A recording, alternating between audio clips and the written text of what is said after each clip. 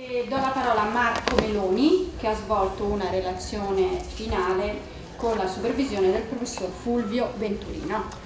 Dunque, il notissimo studente Meloni ha affrontato un tema, eh, l'oggetto della sua tesi del capitale sociale, un concetto che nasce, uno strumento di analisi che nasce a metà fra scienza politica e sociologia. È un capitale produttivo in quanto può, può portare a dei risultati, può portare a degli effetti, così come può negarli. È inoltre, a differenza degli altri capitali, un capitale che non è insito nelle, eh, né nelle persone né negli input produttivi, bensì è insito nella struttura sociale. Quindi è un capitale che, eh, definito come capitale produttivo, è anche bene comune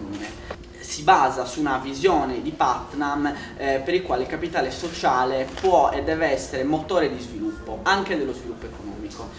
Mi aveva a concludere dicendo che probabilmente la riflessione che si può trarre da eh, questi due studi, da queste due indagini, non è tanto discutere se è nato prima l'uovo o la gallina, se sia il capitale sociale a sviluppare l'economia o l'economia a sviluppare il capitale sociale, ma prend quanto prendere atto che si vuole intaccare i problemi strutturali del paese, ci si dovrà occupare dei problemi sociali così come dei problemi economici.